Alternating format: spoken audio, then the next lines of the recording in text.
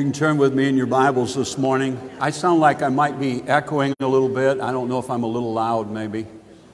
Uh, Joel, turn with me in the, to the book of Joel this morning, chapter 1. I do want to make mention, we had it up on the screen a little bit earlier. The kids are dismissed to go to children's church at this time. Uh, we had it up on the board a little bit earlier. Uh, but we are going to do a baptism out at uh, Pier Lawn after church today. Um, Daryl, who was here last week, raise your hand, Daryl, is back here in the back. Uh, we're going to baptize Daryl in water out there. It won't be long. We'll go out there and, and do the baptism. If you would like to come on out with us, you're more than welcome to be a part and join us in that. But we're going to baptize Daryl. Daryl's on the road a lot. Am I right, Daryl? Awful lot. Yeah, so he, we won't see him a whole lot, but when he's in town, he'll be here. And praise the Lord, he does a lot of long haul trucking. So we want to keep him in prayer. But we're going to we're gonna water baptize him uh, this afternoon. So if you can be a part of that, that'd be great. Praise God. Joel chapter 1, we'll begin there in a minute. Joel deals with the problems or the problem for Israel when they turned their backs on God. The title of my message this morning is to remain steadfast. We know that Israel had a problem with in and out of relationship with God, in and out of uh, fellowship with Him, and they struggled with that. And in our society today, uh, I think we're starting to see some of those things even more uh, than what we've seen them in the past. Uh, but ease and prosperity can lead people to forget God. You know, we have a lot. We've been given a lot. We've been blessed with a lot. The Lord has put into our hands as, as uh, Americans. We've been given so much. And how many of you know that anything that we have now could be taken away in an instant, quickly? But the one thing that cannot be taken away is your relationship with the Lord Jesus Christ. I'm going to share an excerpt from this book at the close of this service today. This is called Hearts of Fire. It's a Voice of the Martyrs book. Uh, it's about eight women that uh, have suffered dearly to spread the gospel of Jesus Christ and willingly in difficult circumstances and difficult situations. And here we are in America today, and we have all the privileges of living free, in freedom, and yet so often we are afraid to share the gospel with our neighbors. We're afraid to share the gospel and, and, and express what God has laid upon our hearts and we know is the truth, and yet we're, we're afraid. And sometimes I think we feel that, uh, well, everybody in America's heard. Let me tell you something everybody in America hasn't heard. And if they have heard, they still need to hear it again if they don't know the Lord Jesus Christ. Amen. Covenant breakers, covenant breakers, those who turn their backs on God, turn their backs on God, they repent. Um, if they don't repent, they're going to lose their blessing. We need, to, we need to keep in relationship with our Lord and Savior Jesus Christ. We can get used to the blessings of God. How many of you enjoy the blessings of God? Amen? But we can begin to take those things for granted at times. And so we need to be cautious that we don't take them for granted, that we're, we're thankful for what God has given us, but using those things that are in our possession to advance the kingdom's work. Joel is a warning from God. It's about a present day and, a, and, and it's about a coming day marked by an invading enemy. And how many of you know that there's an enemy out there today that's coming after your soul, that's coming after the church, that's coming after this world because he wants them in hell? That's the enemy that we're fighting against. We're fighting against Satan and his cohorts. And we need to stand strong. It's not a popular message that I'm going to share with you this morning, but I believe it's a necessary message for us today that we understand that we need to stay in close relationship with the Lord. Now, the word of the Lord, Joel in his book doesn't talk much about himself. We don't really know a whole lot about him. But at the very beginning here, it says, The word of the Lord that came to Joel, son of Phanuel, hear this. But what is he saying in this first verse? He's saying that, in other words, this is a word from God. This isn't my word. This is something that the Lord has laid upon my heart. And this word is not just for that generation of Israel, but this word was also for the generations to come. That's what it means. It was for the generations to come, for those that will follow. And so often, how many of us, uh, men in serving the Lord, there have been times that maybe we've fallen away from the Lord. We became complacent. One of the stories in the book that I want to share an excerpt from today, one of the individuals had been on fire. They got saved and, and they were on fire for the Lord, and then they just seemed to cool down and, and get away from their relationship with the Lord and just kind of settled in and began to go on cruise, and the Lord began to deal with their hearts and with their life. And, and through that, when they put forth that effort again to serve the Lord with all of their heart and with all of their soul, you know, there were some things lost in their lives. But the thing that was gained was that relationship that was more powerful than they'd ever had it before because they served the Lord. They went after Him with all of their heart and with all of their soul. See, we have an enemy. The enemy is coming after you and I. He's trying to bring destruction. In the day of John the Baptist, let me, let me say here, he says, O generation of vipers, who hath warned you to flee from the wrath to come. In John the Baptist, if John Baptist preached today, to the lukewarm church, what would, he, what would people say? Oh, you generation of vipers. And what would people say? They would say, John, you're a legalist. John, you're pushing people away from Jesus. John, you should be preaching love, love, love. John, just tell people how much God loves them. You're not very Christ like, John. John, stop judging everyone. I've had some people say some things that don't know the Lord about some of the things that I post on my Facebook page. They think I'm judging. Well, it's quiet in here today. They would say to John, You just need to build a relationship with the Lord. That's all we need to do. Just build a relationship with the Lord. John, you're being a stumbling block. You see, the message of Joel is not a popular message because it's a message to Israel that had fallen away from God.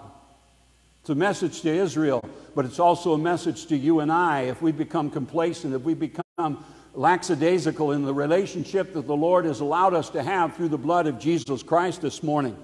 So, Joel, verse 1, again, the word of the Lord that came to Joel, son of Phanuel, Prophets will, will call people back when they have strayed. And that's what jo- Joel was. He was a prophet. He was a prophet from God to bring forth that word. And Joel deals with five different groups of people in this book.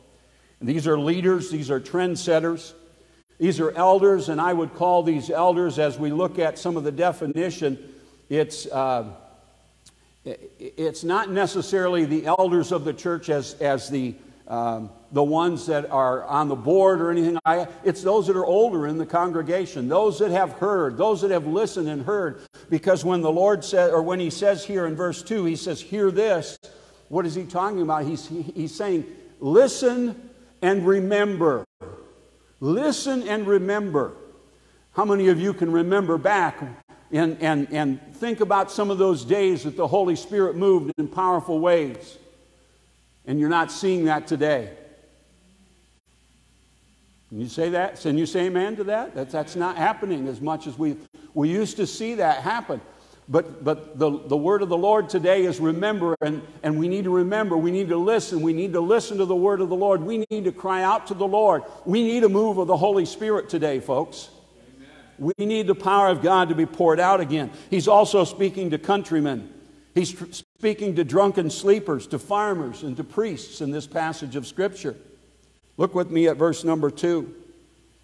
Joel speaks to the elders and the countrymen here. He says, Hear this, you elders, listen. All who, believe, all who live in the land, has anything like this ever happened in your days or in the days of your forefathers? Tell it to your children, and let your children tell it to their children, and their children to the next generation. What the locust swarm has left, the great locusts have eaten. What the great locusts have left, the young locusts have eaten. What the young locusts have left, other locusts have eaten. Have you ever seen anything like this? I'm going to ask you, have you ever seen anything like this in America today? What's taking place? Have you ever seen anything like it? Not in our day. Not in our day. And, and when we look back through history, I don't know that we've ever seen anything like it. Are we prepared? Everything that we have trusted and depended on is being attacked, and it's reeling. Those things that we see, and, and, and, we're seeing a lot, of, a lot of different things. If you're following the news, I don't know about you, but I, I've had a hard time following a lot of the news. I'll tune in every once in a while, but I like to go to the Patriots news and look at a lot of that as opposed to some of the other news that's available out there. Because I'm, but I'm, I'm listening to others too. I want to hear what's being said. But the things that you and I are facing today, the things that have changed in the last couple of years already that have drastically changed even the outlook of this country. But how many of you know God's still God? He's still in control and we can trust Him. We have confidence in Him today. Everything that we have trusted and depended on is beginning to be attacked. Everything. A swarm of locusts. Look at verse 4 again. A swarm of locusts, and I'm going to read this out of the New King James Version. A swarm of locusts has destroyed everything. What the chewing locust left, the swarming locust has eaten. What the swarming locust left, the crawling locust has eaten. And what the crawling locust left, the consuming locust has eaten. You see, this is the mother of all invasions. It's the mother of all invasions. This is a time to, to react and to respond as the church of Jesus Christ today. As we stand and, and, and worship the Lord, as we stand in our homes and, and in our workplaces, God is calling you and I to be a beacon, to be a light. He's calling you and I to be salt, to minister to those around us, to share the gospel of Jesus Christ. Have we done everything that we have we done anything to bring this about in our nation? And I think that's a question we need to ask ourselves. Where have we stood?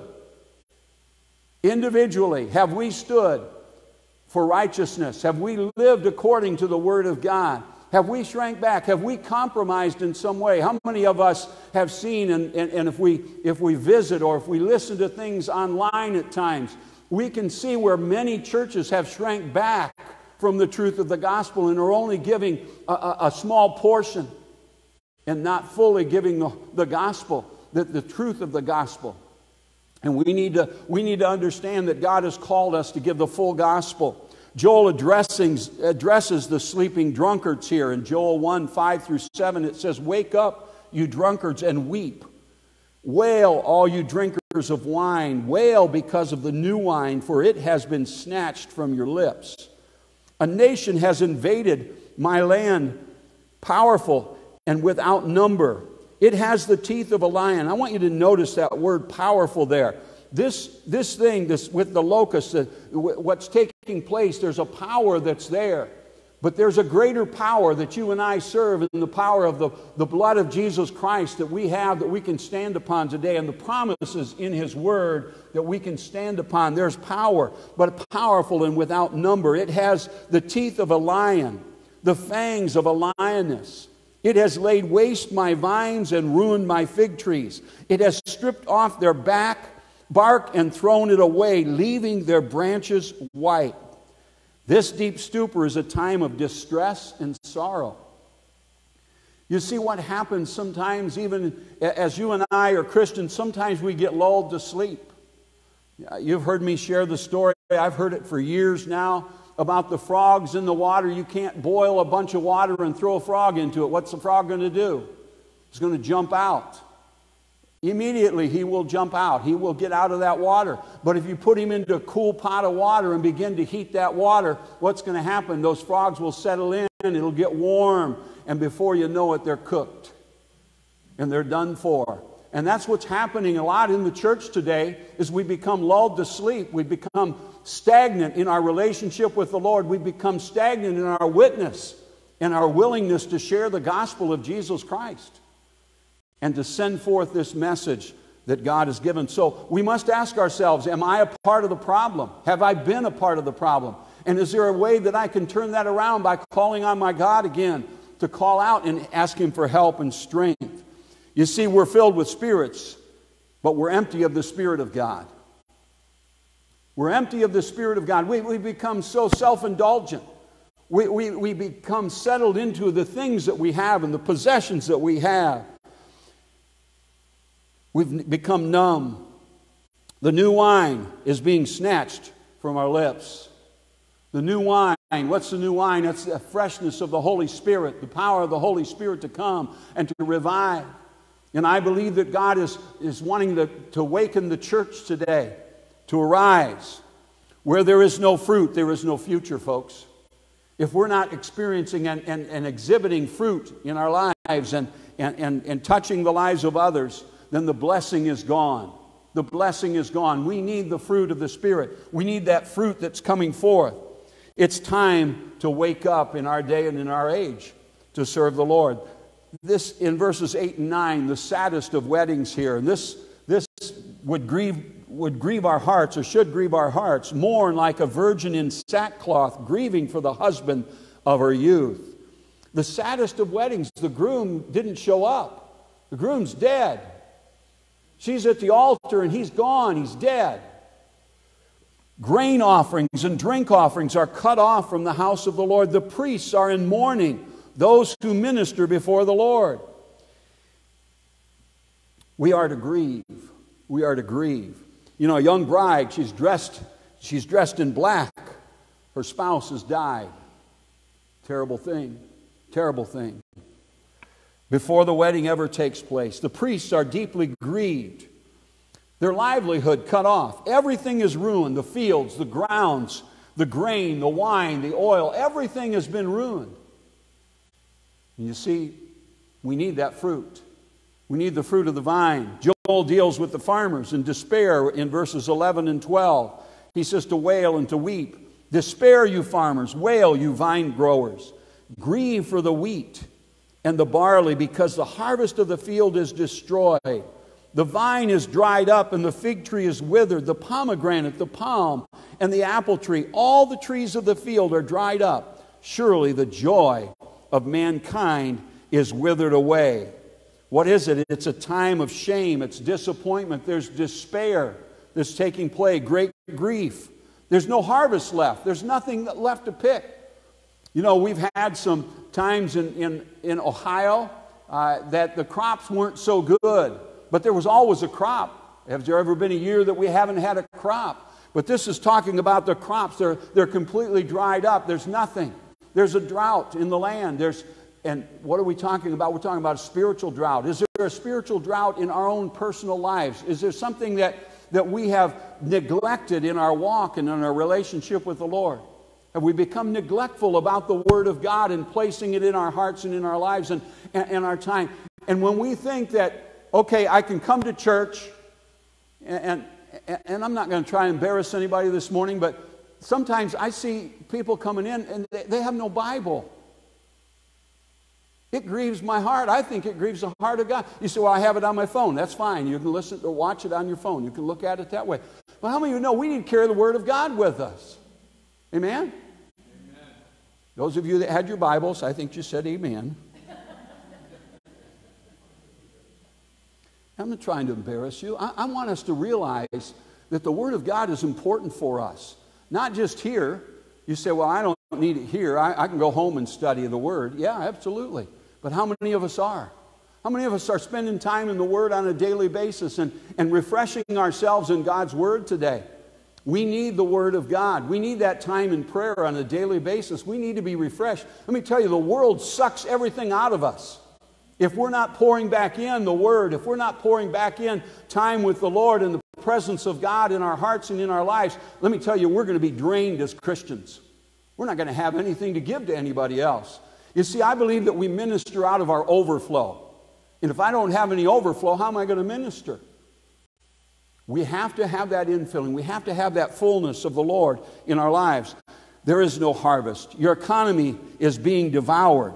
And you know what? Quickly. How many of you know quickly things could change?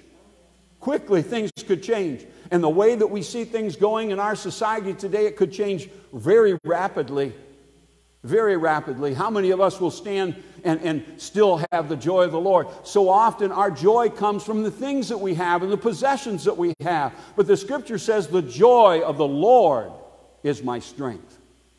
If we're counting on those things to keep us happy, let me tell you something, you're going to be sorely disappointed.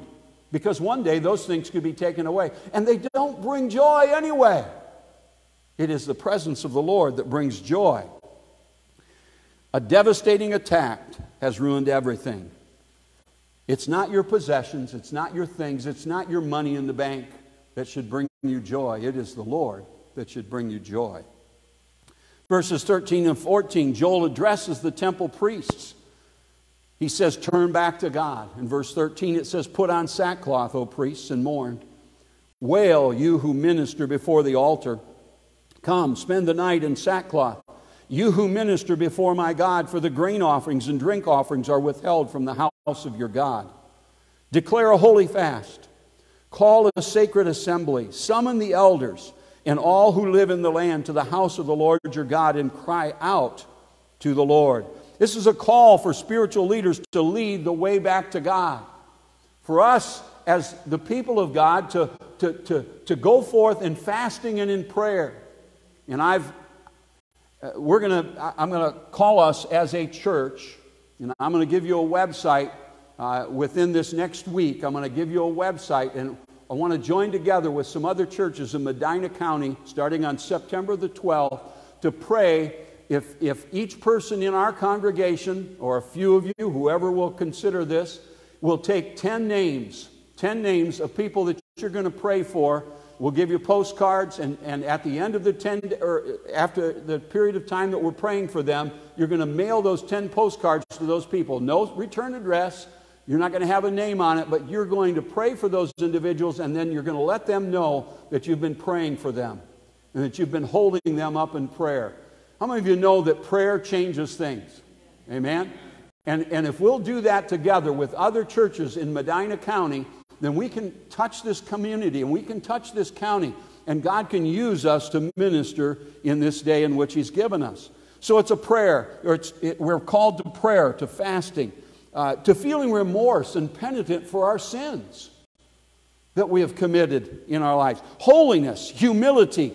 Uh, uh, we're called to repentance. You see, the religious system has crumbled. And you know, I, I, know a lot of people say, well, I don't want religion, I want relationship. Well, the relationship is what we would call religion. It still is religion, but the religion has failed. But we need relationship with our Lord and Savior, Jesus Christ. That's just the title of the, of, of the, uh, uh, of the, um, the, the religion or the faith, the belief. We have a faith in our Lord and Savior Jesus Christ, and that is, so to speak, our religion. But fasting and prayer, why fasting and prayer? Because I believe it's only God that can stop this invasion. It is only Him. And it's through the prayers of His people that as we pray for, for a nation, as we pray for our, our, our, our leaders within this nation, as we pray that God would minister and, and, and pull down some of the strongholds of the enemy, we can see God move again in this nation. Is it too late? I don't know, but I'm going to call on God. I want to see Him turn it around. If not, then the coming of the Lord, the day of the Lord, which we hear a lot of in the book of Joel, the day of the Lord is coming. It's coming. The day of the Lord is coming. God has the only answer to the unstoppable, unstoppable locusts. How many of you have ever seen swarms of locusts? I mean, huge swarms of locusts, maybe on television, maybe on a documentary. I've seen them before, and it's amazing. It can cover the sky almost as they, as they float in. They don't stay long, but they chew up everything in its sight, and then they move on to something else. It's destruction. It's destruction. The day of the Lord has, has become not a day of blessing, but of judgment. You see, the Lord can turn it around. And his call to Israel here for Joel, Joel was giving this call according to the word of the Lord and, and wanted them to turn back around. And the day of the Lord could either bring judgment or it can bring blessing. If we'll turn to the Lord, if we'll cry out to Him, God has the only answers for us. He's the only one that has the answers this morning. It is past time to get right with God.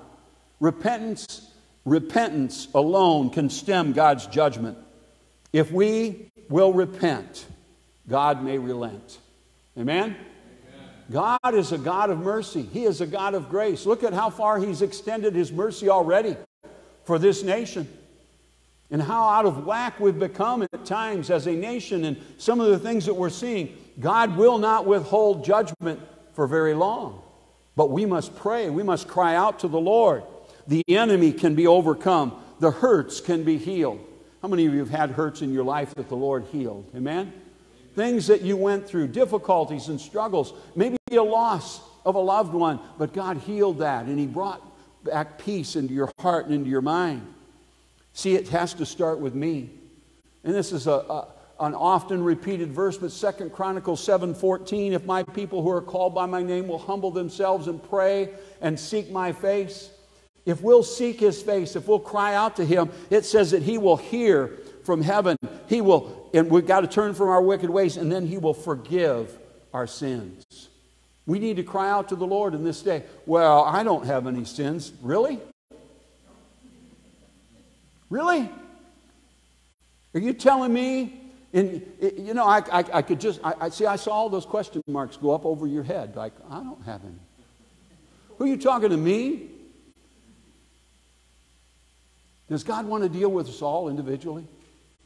Doesn't He want to speak to our hearts?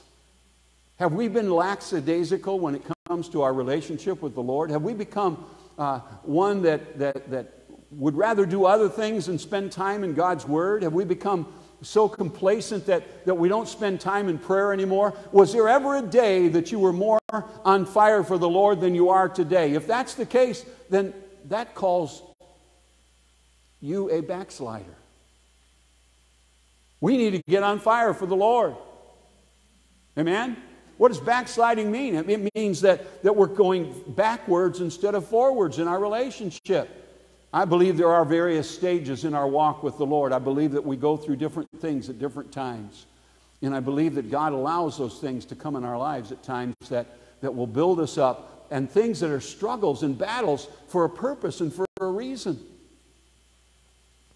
Joel 1:15 The day of the Lord is near alas for that day for the day of the Lord is near it will come like destruction from the almighty a day of darkness not of light. A day of darkness and not light. This is not the plight of a blessed people. Rather, it's a, uh, it's a people that are under judgment here. It's a people that are under judgment. Those who break covenant with God will suffer loss. We can't break covenant with the Lord. Remain steadfast. Remain steadfast in your walk, in your relationship with the Lord Jesus Christ. In verses 16 through 20, Joel sums it up. He talks about food, joy, and gladness are cut off. Has not the food been cut off before our very eyes? Joy and gladness from the house of our God. The seeds are shriveled beneath the clods. The storehouse, the storehouses are in ruin. The granaries have been broken down, for the grain has dried up. How the cattle moan. The herds mill about because they have no pasture. Even the flocks of sheep are suffering. To you, listen to this, to you, O Lord, I call. To you, O Lord, I call. For fire has devoured the open pastures, and flames have burned up all the trees of the field. Even the wild animals pant for you. The streams of water have dried up, and fire has devoured the open pastures. Everything they have counted on has broken down. Everything. To you, O Lord, I call. You see, there is a place of hope in that. To you, O Lord, I call. To you, O Lord, I call. How many of you, when you were raising your kids and, and one of them cried out to you, Help, Mom! Help, Dad! This week we had uh, my mother in law was upstairs. We were downstairs, and all of a sudden she screamed. And that's why we ended up taking her to the hospital. She couldn't move. Her back was, was she was just frozen. And she yelled and we said, Oh, we'll catch you later. Just, you know, just pray about it. We'll come see you in a little bit. No, we didn't. We both ran upstairs to see what was going on, and she couldn't move. She, she was in, in, in severe agony and pain because of her back. Thank the Lord for doctors, but I thank the Lord for His provision and His healing power and His provision. And mom's still in the hospital. We're waiting to see. We've had a couple of appeals to, to see if we can't get rehab for her. Uh, and this is probably our last resort. If they don't, then we'll probably be bringing her home. But, but uh, hopefully we'll be able to get her in rehab. But our God is a healing God. But if somebody calls, and what does the Lord do? How many of you know the Lord loves you? It says if you call on Him, He will answer. If you call out to Him for help and for strength to deliver you, He will be there. He joys in, in touching you and ministering to you. You see, the only hope is in return. Not tomorrow, but today. Not tomorrow, but today.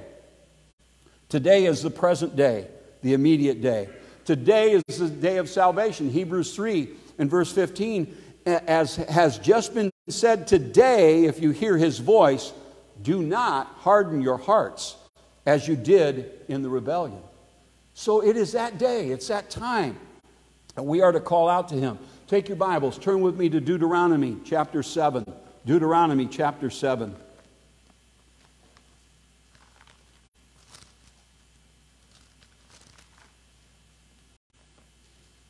Look at verse 11. We're going to look at several different passages here. Deuteronomy 7 and 11. We're going to stay right there in Deuteronomy. Deuteronomy 7 and verse 11. Therefore, take care to follow the commands, decrees, and laws I give you tomorrow. Today. Today.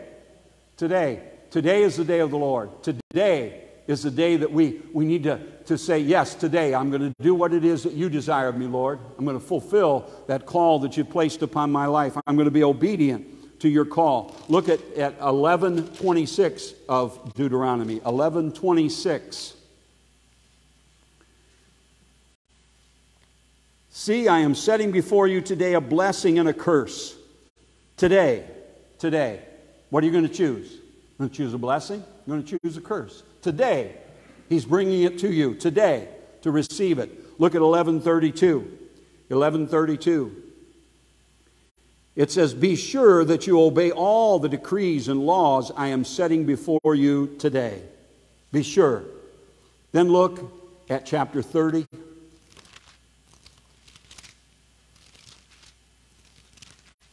Verses 15 through the first part of verse 16.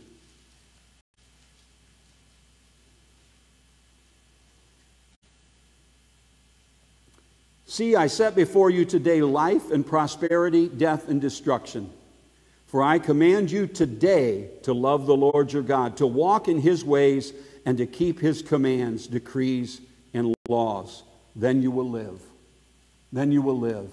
We are to abide by his word.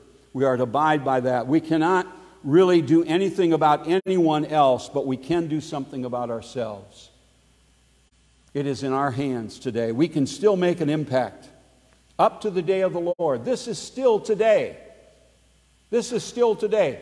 See, judgment's going to come one day, and it will come. The scriptures are very clear on that. But today is the day of salvation. Today is still the days of grace. And we can call on Him for help. Today, God is looking for those who will stand in the gap for the land. Will we stand in the gap? Will we pray for this nation? Will we cry out to the Lord so that God will bring healing and strength and provision in our families? What about us? Will we fight or will we fail? Where will we stand in the days ahead? Will we stand in the gap or hide in the cave? What will we do with this relationship? Everything that we depend on can be taken away in a minute. In a moment, it can be gone. Only our only hope is to turn to the Lord this morning. Today, it's time to heed the call of Joel. Today is the day of the Lord. I want to read this expert, excerpt. This girl, this young lady's name is May, is the way I'm going to pronounce it. I might be a little off on the pronunciation. But she was a young lady that lived in, in Vietnam. Her parents had great hopes for her to get to the West, to get to the United States, or to get to Australia, where they could have freedom because they were in communist uh, Vietnam. And so they made passage for her and a brother to go to Hong Kong. They were to take a ship to go to Hong Kong. And on that ship, the ship ended up, ended up having a terrible storm. It was a very rickety ship. They were even afraid to get on it. Uh, but they, they got on this ship. They went to Hong Kong. Uh, the, the conditions were deplorable. where they were having to live. They were in a refugee camp, and in that camp, uh, they had to wait until they would get papers to be able to go to either Australia or to the United States of America. And while she was there, all of uh, her relatives, when she was raised, she was taught to worship the spirits, that the spirits of her grandparents and her great grandparents would watch over her, and that's who they worship. They would light candles and, and sacrifice sacrifices. And so when she got to Hong Kong, this is what she believed, but she passed by a, a place where they were having a, a church service, and she listened for a moment. She said, You know, she heard the words that God loved her and that God cared for her, and she thought, Well, that's wonderful. You know, she'd never really heard anything like that before. And she passed it by, and she, after a while, finally went back in. She got saved. She accepted the Lord into her heart and into her life. She put away all of her idols, all of the incense, all of the things that she was burning and she got right with the Lord. Then she ended up meeting a man that uh, was a Christian man also. He had gotten saved also. They were, had plans to eventually marry and to spend time, of course, the rest of their lives together. She began to become complacent then with her relationship with the Lord Jesus Christ. She began to draw back, and, and, and finally she realized that what she was doing, and God spoke to her heart, and, and she began to seek him again with all of her heart. And here she was, and she, she was about, she had been there almost five years now. It was about four months away from her getting her visa to either go to Australia or to the United States. And here comes this time, and the Lord speaks to her and says, May I want you to go back to Vietnam and preach the gospel.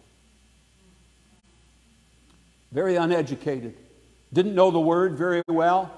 But she accepted the call, and the next Sunday in service, or whenever they held their service, they, they got together and she announced, The Lord has called me to go to, back to Vietnam. And I'm going to go back to Vietnam and I'm going to preach the Word of God.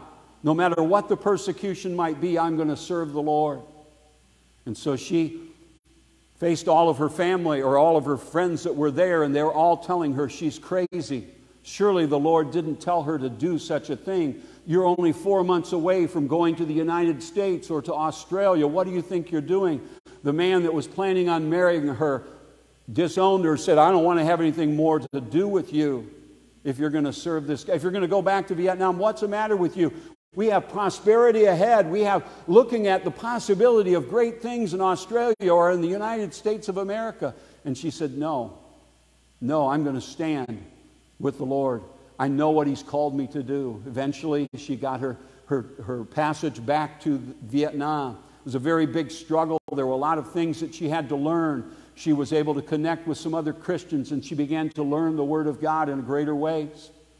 And she, she had a deep hunger for the things of God and she pursued. And she, she would go, uh, many times she was arrested and she was put into prison and she was interrogated over and over again. There were times that it didn't look like she was going to get out, and miraculously, all of a sudden, they would come and have her sign release papers, and she was released to go. The hand of God continued to be upon her life, and, and she began to go to the remote villages carrying Bibles every time she would head to the remote villages, which were very dangerous to go to because they were, many of them were in the mountains, and, and if she were to, to make a one wrong move, she could fall off the cliff into the rivers that flowed through those mountains. But she endured all of that. She became very weak and malnutritioned at times because of the imprisonments that she had and eating a bowl of rice with others that were just one bowl of rice that they were allowed to eat out of for everybody that was in that prison cell. But she endured and she continued to share the gospel of Jesus Christ and put forth every effort. But she would carry Bibles to these uh, distant places Eventually, she was hooked up with an individual that was connected with a, a village called uh, Hmong, is the way I'm pronouncing it. I'm not sure if I have the right pronunciation, but this village, this group of people that were very hesitant to allow anybody in, but this man that she came in contact with had an in with them, and so he introduced her to them, and she decided that she would come and begin to minister to them and share the gospel with them. And so she did that with all of her heart and diligently. And then again, she was arrested and, and put in jail for a long period of time. But here we see, and this is what I want to read to you. And May shared the gospel with, with the Hmong. She saw again and again the transforming power of God's word. Many were alcoholics, while others practiced strange witchcraft rituals that included drinking animal blood. After accepting Christ, though, they gave up the rituals and were willing to face persecution for their beliefs. They believed Christ would return soon, and they wanted to be ready. May sensed their, May their hunger, and she began training Hmong Christians to be leaders. Many would travel on foot for two days, two days to get to the training site. In some villages, there were no Bibles. In others, Christians felt greatly blessed to share a Bible among 40 to 45 families. One Bible, 40 to 45 families. How many of you have five Bibles or more? One Bible for 45 people. Christians felt blessed. Some families sold everything, listen to this, they owned to go to Hanoi in search of single, a single copy of the Bible. But even there, they couldn't find Bibles in the Hmong language. With every visit, May carried more Hmong Bibles printed by her missionary contact. She was thrilled every time she saw grateful tears of joy in eyes of the Hmong Christians as they held God's word in their hands for the very first time. The long trips were a drain on or May's strength. She still suffered from motion sickness, just as, he, as she had on the boat to Hong Kong. She sometimes wondered, as she fought the nausea, why God would call her to a ministry of travel but not heal her from the miserable illness. She tried to sit near the bathrooms on the trains because she knew she would be sick. She spent countless hours balancing Bibles or bags of Bibles on motorbikes while driving over the muddy roads. And she walked many miles, always carrying Bibles. She sewed the names of Christian contacts into the, into the seams of her clothing so the police would not find them if, they were, if, if she were arrested. May eventually, after so much turmoil, eventually marries. They tried to have a child. She lost her first baby. The second baby, and the doctors told her, You'll never have a baby. You'll, you'll never, it'll never be possible. They tried again. And then she had this, she was getting ready to have this babies, and the doctors were recommending that she abort this child. And she said no. And the, the doctor told the husband, he said, It's either her or it's the baby. Which do you want? Because both of them will not survive. Well, she had the baby, it was a little girl. And she, she is raising that child. She's still living today in, in Vietnam. She is raising that child. Her greatest joy is she says, I want to raise my child to walk alongside me in ministry.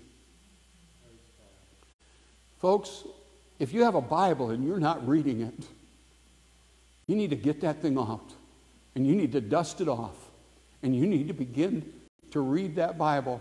People that are, are dying and giving up everything so that they can get one copy of the Bible. They're risking their lives by even taking those Bibles into those people every time they go in. Folks, we need to be in the Word. We need to be in, in, in, in, in fellowship with the Lord. And this is how He speaks to us. This is how He speaks to us.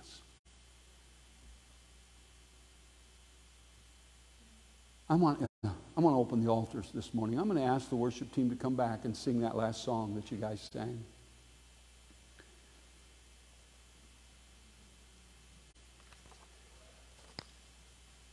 Folks, if, if there's anything, I, I don't care how small or, or, or how large it might be, that you need to repent of this morning, I want to see you at the altar. I want to, I want to see you come. Folks, we need a closer walk with the Lord Jesus Christ today. Amen? We need a closer walk with Him. And we need to call out to God. And, and, and you may be reading your Bible, you may be praying every day. But there are still things in your life that you know you've got to get right with the Lord this morning. This altar is open. I want you to come. I want you to stand. I want you to worship the Lord. Those of you that might sit at your seats, if you see somebody that comes forward that could use a word of prayer, man, don't hesitate. Come. Lay a hand on their shoulder and pray for those individuals. Lift them up before the Lord. But this altar is open right now. As they begin to sing and as, they, as we begin to worship the Lord once again, I want you to come to this altar. In the presence